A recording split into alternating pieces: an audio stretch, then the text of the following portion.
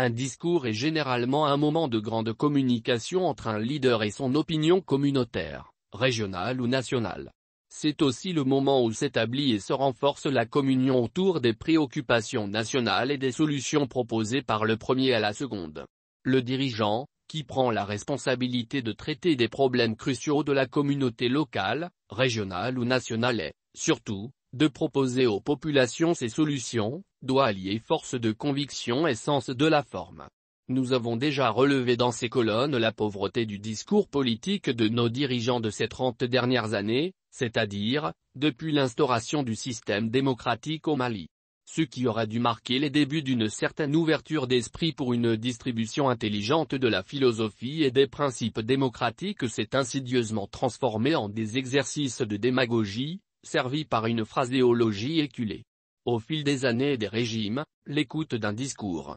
notamment, lors des célébrations d'anniversaire de l'indépendance de notre pays, s'est muée en un moment de grand ennui, où l'auditeur et le téléspectateur sont tiraillés entre la forte envie de zapper pour suivre un autre programme et cette obligation diffuse de rester attentif à une adresse qui pourrait tout de même réserver une agréable surprise.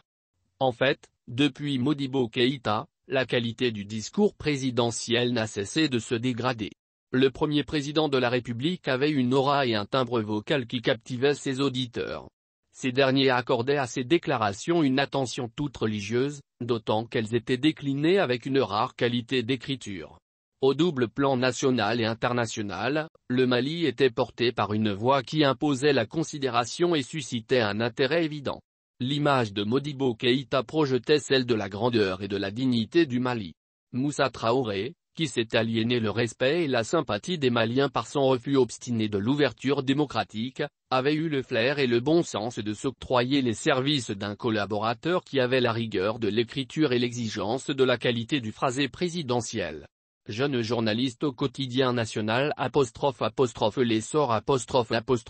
je suivis avec beaucoup d'intérêt non sans un certain amusement d'ailleurs, l'enregistrement, dans le bureau présidentiel, d'une adresse à la nation de GMT. En dépit des agacements visibles du maître du pays, Ismaël Kanouté, alors directeur de cabinet du président de la République, ne démordit jamais de faire revenir le chef de l'État sur les mots et phrases mal rendus et les ponctuations non respectées. La copie diffusée par la RTM n'atteignit pas la qualité recherchée par le directeur de cabinet, en raison même des lacunes rédhibitoires du apostrophe père de la nation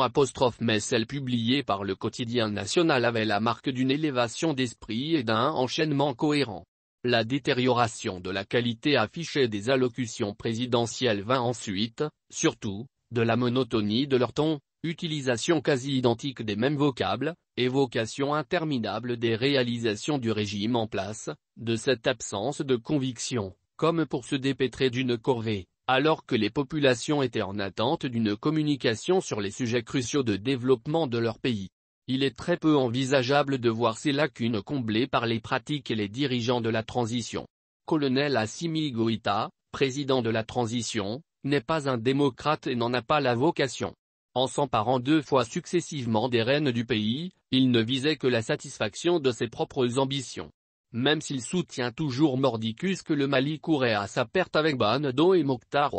il reste évident que le colonel putschiste est à la quête de son propre destin, qui ne s'accommode d'aucun partage ni de concession. Alors que le premier attelage de la transition a payé le prix de son attachement au respect de l'engagement de ne pas aller au-delà des 18 mois fixés de commun accord avec la CEDEAO, l'actuel duo n'a cessé de m'enœuvrer pour que ce délai ne soit pas tenable la déclinaison d'un programme d'action du gouvernement sans chronogramme, l'absence d'actes concrets posés par l'actuelle équipe gouvernementale depuis les débuts de cette seconde phase de transition, visant une quelconque réalisation du PAG, l'alimentation de polémiques autour de la mise en place d'un organe unique de gestion des élections, de la tenue des assises nationales de la refondation et de l'imminence d'un accord de défense avec une armée privée de mercenaires russes, l'alignement suspect et spontané de leaders religieux et de certaines organisations de la société sur la tenue d'activités controversées et repoussées par la quasi-totalité de la classe politique sont les signes évidents de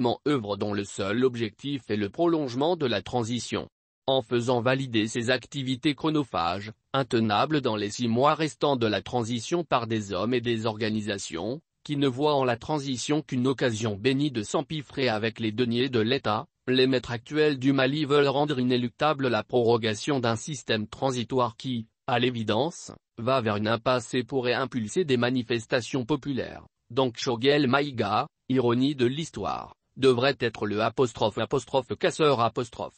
Le discours de célébration du 61e anniversaire de l'indépendance du Mali par le président de la transition restera donc un grand moment de frustration pour les Maliens, alliés et contestataires, qui ont escompté que colonel Assimi Goïta ferait violence sur sa nature pour leur fournir des réponses qui devraient l'amener à dévoiler des dessins, qui ne sont, en fait, que des secrets de polichinelle.